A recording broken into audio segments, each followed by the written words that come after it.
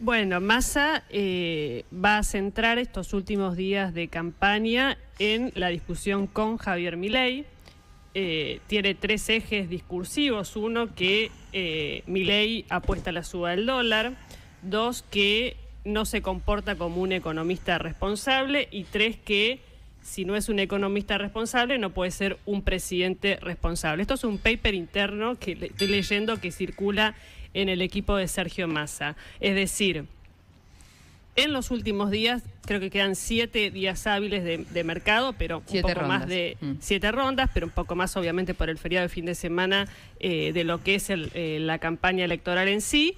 Tiene previsto seguir en este esquema que es el que termina fogoneando eh, además la corrida cambiaria porque sale mi ley a contestar muy rápidamente. Es más, están armando algunos spots dirigidos específicamente en contra de Javier Milei en Unión por la Patria. ¿Qué va a hacer también Sergio Massa?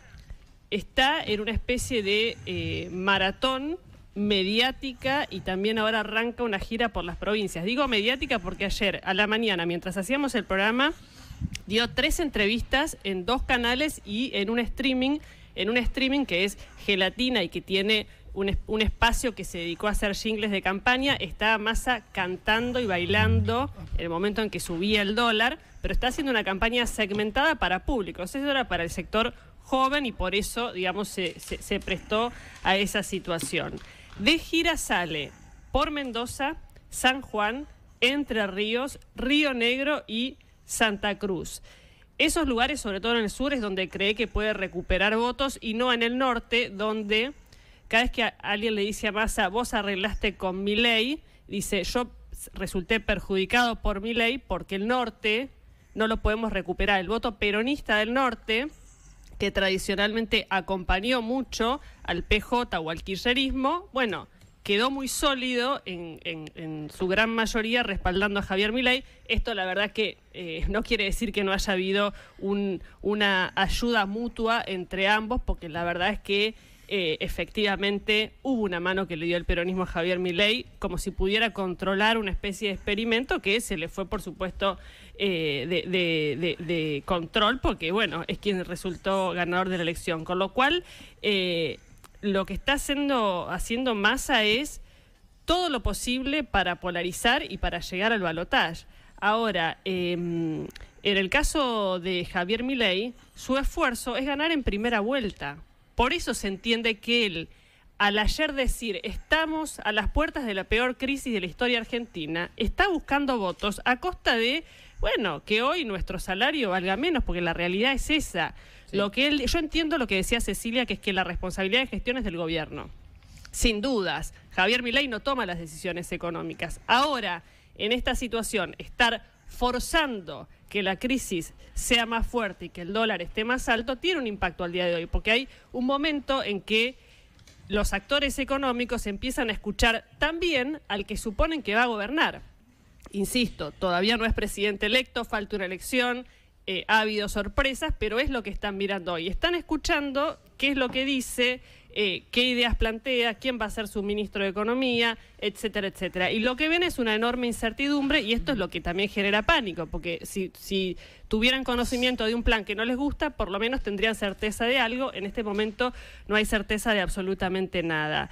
Eh, respecto de, em, me llamó la atención lo que planteaba Che algo de, de, por supuesto, números que lo daba muy alto a Javier Milei. Eh, y de lo que generó un poco el debate, porque estaba viendo unos números de Pulsar, de Augusto Reina, que es quien estuvo eh, con nosotros en PPT en el debate, en el primer, debate. Y a mí eh, me, resultaba curioso porque mientras estábamos al aire, él tenía una computadora y un gráfico de curvas, ¿no? Eh, y le digo, ¿qué estás mirando? Y me dice, no, tenemos una muestra de gente, una muestra representativa de votantes de Juntos por el Cambio, de votantes de Unión por la Patria, de mi ley de otros y de, gente que, que, votó en blanco, lo que fuera, viendo en vivo cómo reaccionan a través de una aplicación controlada al debate. Y viendo los resultados que dio lo que hicieron para la segunda, para este segundo debate, eh, me resultó interesante eh, ver las reacciones porque coincidía con Chialba en un punto. Los eh, que están desmotivados con esta elección, que se abstuvieron, que no fueron a votar, llamativamente se vieron seducidos por dos candidatos. Es decir, se vieron seducidos no quiere decir que lo vayan a votar, sino que, eh, digamos, dieron, eh, validaron eh, frases como positivas. Y los candidatos son Schiaretti, por eso me llamó la atención lo que dijo Chialba. No sé si lo van a votar o no, pero es una mala noticia para los otros candidatos que quieren sus votos. Eh, y una de las frases de mayor impacto positivo fue las, las reservas del Banco Central están menos 10 como en el chinchón. Que uno hubiera dicho esta frase vintage, por el, lo digo lo del chinchón, mira cómo quizás a veces nosotros vemos... Eh, cómo repercute algo de alguna manera y termina, digamos, en la valoración de una muestra más representativa siendo eh, distinto. En el caso de Milley, la frase con más aprobación fue eh, la de la casta, cuando habló de la casta y que vive consumiendo con su modelo de gasto y demás. Em, y esto tuvo mucho apoyo de los votantes de Juntos por el Cambio. Eh, y en el caso de Patricia Bullrich, que digamos uno podría imaginar que Tongolini o este, la papa caliente y nos hiciste puré para masa, la verdad es que la frase con mayor impacto positivo fue cambiar el código penal para que nunca más un violador, un asesino pueda andar por la calle con tranquilidad.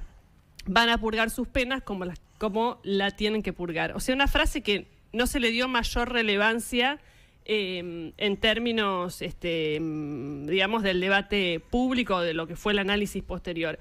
Y en el caso de Sergio Massa, que cuando hicimos la evaluación veíamos que era quien más había intentado segmentar su discurso y apuntar a las mujeres, apuntar a sectores con discapacidad, etcétera, bueno, fue en términos generales el que solamente fue respaldado por su propio electorado y no pudo sumar, digamos, valoraciones positivas de otros sectores. Con esto, ¿qué quiero decir?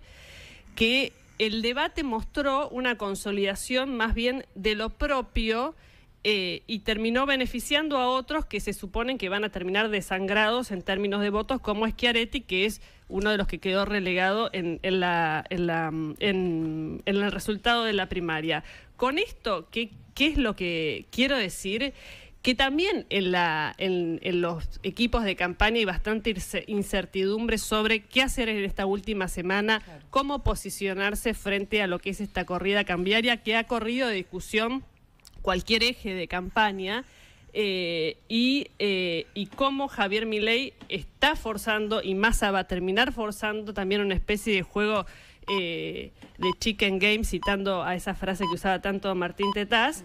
Eh, donde la verdad es que es eh, bastante irresponsable, ¿no? Por dónde han elegido transitar eh, estos últimos días de campaña con un dólar que uno no termina de ver cuál puede ser el techo que va a tener y después el 23. el 23 es algo que parece que queda lejos, pero la verdad es que está a la vuelta de la esquina y donde ya dan por sentado que gane quien gane, no va a haber un esquema de colaboración de transición. Y esto es lo que ya empieza a preocupar mucho, ¿no?